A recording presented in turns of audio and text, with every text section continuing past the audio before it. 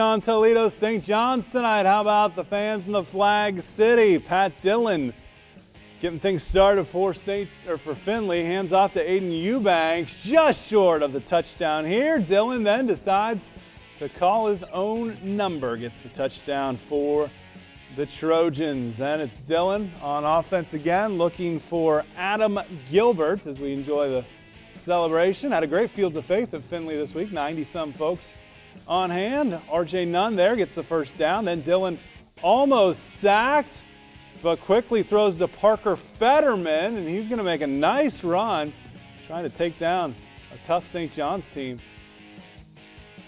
But then, oh, there you see the final. There was a touchdown after that, but St. John's wins 56 28.